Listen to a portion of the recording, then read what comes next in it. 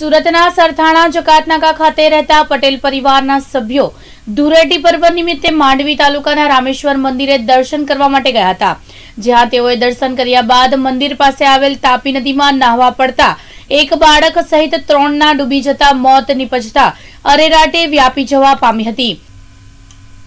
સુરતના સરથાણા ખાતે રહેતા અને સેન્જલિયા અને કાથોડિયા પરિવારના સભ્યો ધૂળેટી પર્વ નિમિત્તે માંડવી તાલુકાના રામેશ્વર મંદિરના દર્શને ગયા હતા, જ્યાં તેઓએ દર્શન કરી પરિવારના કેટલાક સભ્યો તાપી નદીમાં નાહવા માટે પડ્યા હતા. તે વખતે અતુલ સેન્જલિયા શાંતિભાઈ સેન્જલિયા અને નવ વર્ષીય બાળક રુદ્રાક્ષ કથોડિયાનું નદીના પાણીમાં ડૂબી જવાના કારણે મોત નીપજ્યું હતું.